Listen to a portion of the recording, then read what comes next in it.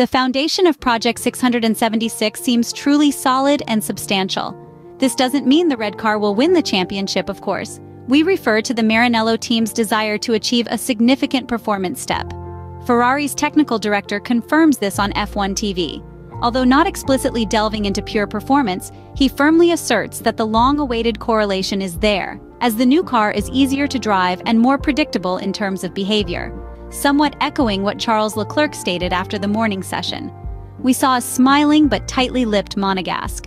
Early season tests remain just that, and discussing performances extensively is merely a waste of time, an impractical exercise in essence. It's only worth noting that Red Bull remains the favorite for the F1 2024 season. For the rest, we can add that the latest addition from the Maranello factory responds well to changes. This should be emphasized as during the previous year, tuning the red car was almost always mandatory. The reason? We know it well. The commendable weak front end that didn't allow engineers to explore the setup window to accommodate the car according to the track.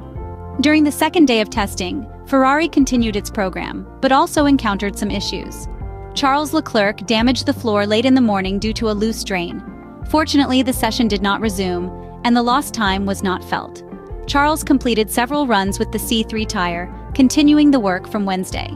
Refining the setup, trying to understand how to make the most of the operational window, this was part of Ferrari's program for the day. A lot of work also on the tire front to maximize the performance of the compounds the tire models need updating to improve simulation inputs in order to obtain more reliable and accurate outputs for the future. Some laps with the FlowViz were also scheduled. All data from these tools are later cross-referenced with those from CFD simulations and wind tunnel tests. In terms of pressure, you need to have the same dimensionless values in all three cases, CFD, wind tunnel, and track, as models in the wind tunnel are tested at 60% scale. Paint is used for a visual test to see if the streamlines follow the predetermined paths in reality.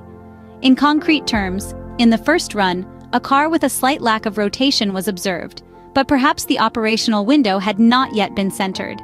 Immediately, however, a more decisive turn-in was seen, especially at turn 10. A very complex turn, as it involves both steering and braking simultaneously. Also, there are small undulations that make the approach difficult.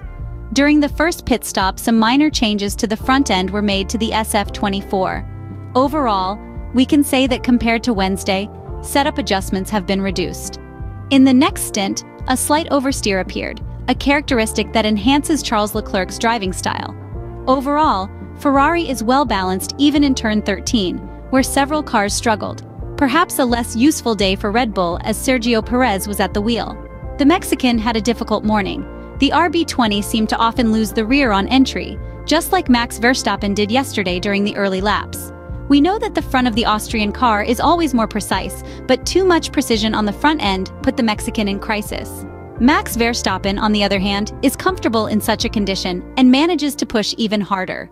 In terms of performance, therefore, it seems difficult to treat today's data on the dry lap.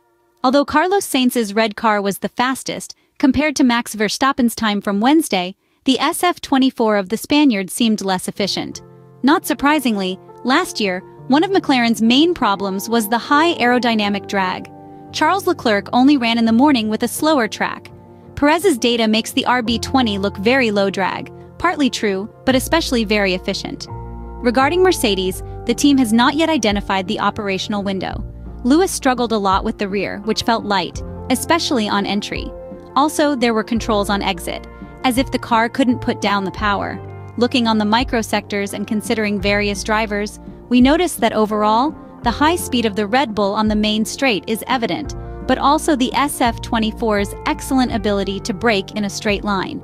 The Maranello car dominates the first section thanks to excellent traction. The braking points for turn 0, 4, 11, and 14 are also the territory of the red car.